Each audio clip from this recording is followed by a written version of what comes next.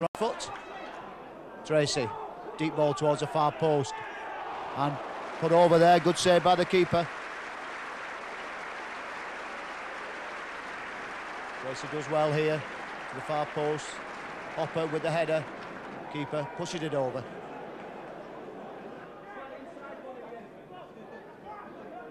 On his near side, Grimsby pushing forward. Neat little back heel there by Lester. Chance inside the area. Ball headed away. And as far as Lester, chance now. And just wide of the target.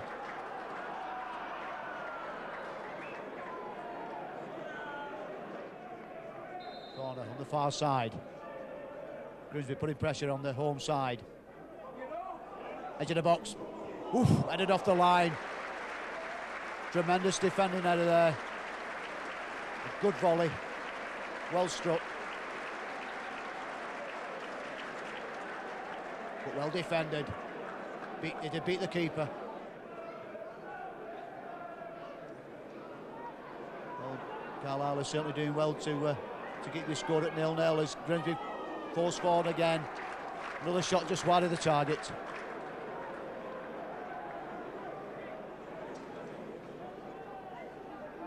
Grimsby in possession once again. Carlisle finding hard to get the ball out of the, their area. A turn. Oh, it's the underside of the bar. Good effort. Weaver grabs it. Lee Ashcroft once again. Can't believe how this ball didn't go in. Lee Ashcroft there. The keeper grabbing it. Thankful of the second chance.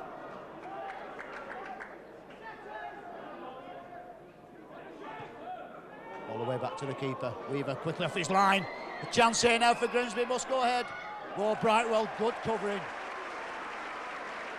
What a bad ball. Look at it again. Ashcroft, although he should have played it early, gives Brightwell a chance to get across. Took his time. Good covering.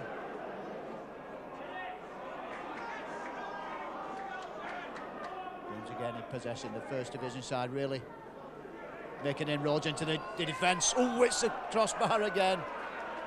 Carlisle survived once more. Caldicott with his chance. Over the keeper, it's the top of the bar.